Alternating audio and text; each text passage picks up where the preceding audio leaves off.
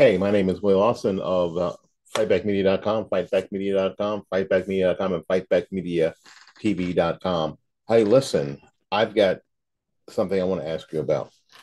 Um, there was this dude that um, identifying as a girl, as a chick uh, in um, in an airport who got upset uh, because apparently uh, one of the TSA agents smacked uh, him in his um, in his eggs, in his huevos, uh, which is interesting.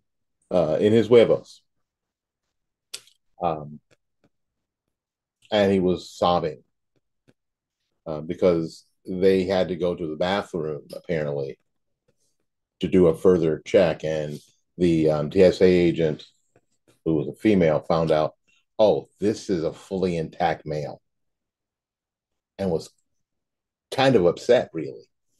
Uh, all right. People are struggling. People are struggling.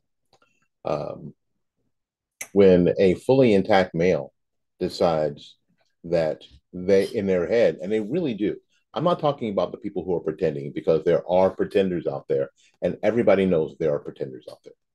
But the people who really are struggling with this, I'm not talking about you. Uh, I mean, I'm, I am talking about you. I'm talking about people who are really struggling, not the pretenders. The pretenders are just out there trying to get attention. But when you are at this mentality that you think that somehow you woke up and you went,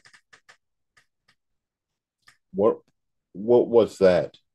Um, that's your testicles and your penis, and um, you have those, and that's kind of who you are kind of what you are. Go ahead and roll with that. When you are of a mindset to where that can't be true, and then other people tell you it can't be true, to the point where you not only I'm not talking about people who just dress up and put the makeup on and the high heels and the fake boobs and the whole and, and the whole nine. I'm talking about those are the pretenders. I'm talking about the people who believe that they can actually live now, live now as a woman. When truly you cannot. Truly now you cannot. Um, so this poor, this poor slug, I mean, li- literally, this poor slug is in a position now where he got he's he, he says he got humiliated in front of everyone. But maybe this was the kind of attention that you were hoping to get.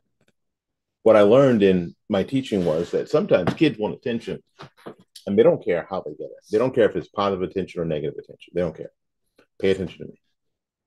Pay attention to me they don't care how how they get it. So they'll do something. They'll try to do something to please you, or they'll, they'll do something to piss you off, as long as you pay attention to it.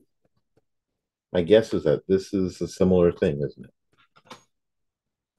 My name is Willie Lawson. This is the morning. This is um, fightbackmedia.com, fightbackmedia.com, fightbackmedia.com, and fightbackmediatv.com. And until we see you again, go out there and learn something, love somebody, and for goodness sakes, I'll take care of yourself. We'll see you when we see you.